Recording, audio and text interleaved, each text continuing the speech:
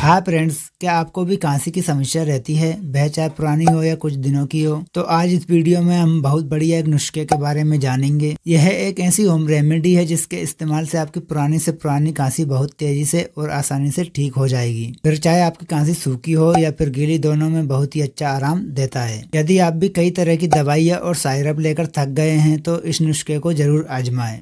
आज हम जो नुस्खा बनाने वाले हैं, वह इसे बनाने के लिए जो भी चीज़ें चाहिए, वो आपके किचन और घर में आसानी से मिल जाएँगी। इस नुस्खे को बनाने के लिए हम पाँच चीज़ों का इस्तेमाल करने वाले हैं। सबसे पहली जो चीज़ आती है, वह आती है काली मिर्च। ये हमारे शरीर में जो भी श्वास नलियों में बलगम जम जाता है, उसे पतला करके शरीर से बाहर निकालती है, जिससे की आपका इन्फेक्शन कम हो जाता है और आपको खांसी में आराम मिलता है। इसके बाद आता है काला नमक। ये भी आपकी श्वास नलियों को रिलैक्स करता है और साथ ही साथ ही आपके जकड़न को दूर करता है। अजवाइन ये आपके चेस्ट कंजक्शन को दूर करती है और आपकी खांसी में आराम देती है। हरी इलायची, इसके अंदर कुछ ऐसी प्रॉपर्टी होती है जो कि आपके इन्फेक्शन को दूर करती है और आपको बलगम में आराम देती है। लास्ट और महत्वपूर्ण आता है अदरक। अदरक के अंदर एंटी इन्फ्लामेंट्री प्रॉपर्टी होती है जो कि आपके फेफड़ों और श्वासनाल को ठीक करती है और साथ ही साथ खांसी में रिलैक्स करती है। अब इस नुस्खे को बनाने के बारे में जानते हैं। इसे बनाने के लिए आपको चाहिए एक चौथाई चम्मच काली मिर्च पाउडर, एक चौथाई चम्मच काला नमक वन टेबल स्पून आपको चाहिए अजवान और चार टेबल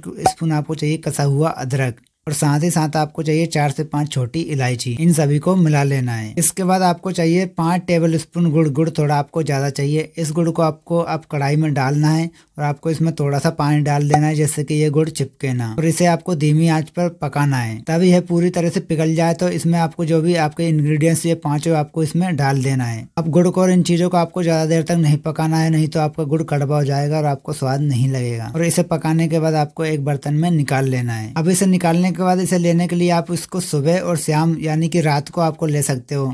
सुबह आप इसे ले सकते हो, रात को आपको सोते समय लेना है। विशेष आपको ये ध्यान रखना है कि सोते समय ही आपको इसे लेना है, विशेष फ़ायदे के लिए। सोते समय लेने के बाद आपको पानी नहीं पीना है। दिन में आप जब भी आप इसे लेते हो तो आपको इसको कोई भी खट्टी चीज़ें या फिर ठंडी चीज़ें इसके साथ नहीं लेना है। यदि आपको ज़्यादा कांसी की प्रॉब्लम है तो आप इसे जब कांसी ज़्यादा चलती है तो उस समय भी आप ले सकते हो। दोस्तों, ये बहुत ही इफ़ेक्टिव नुस्खा है। जो आपकी कांसी में बहुत ही जल्दी और ज़रूर आराम पड़ेगा। ये मैंने खुद उपयोग किया है और आप भी इसे उपयोग ज़रूर करें। आपको कोई भी प्रश्न हो या फिर कोई भी डाउट हो तो कमेंट सेक्शन में पूछ सकते हैं, मैं रिप्लाई ज़रूर करूँगा। आपको यदि इसे बच्चों को देना है तो दस साल के ऊपर के बच्चों को आप दे सकते हैं, परंतु आपको इसकी मात्रा कम करना है। आपको एक चौथाई चम्मच, यानी कि एक बट्टा चार चम्मच आपको इसको देना है। दोस्तों, वीडियो अच्छी लगे वीडियो को लाइक चैनल को सब्सक्राइब करें। इस तरह की इन्फॉर्मेटिव वीडियो लाते रहते हैं। धन्यवाद।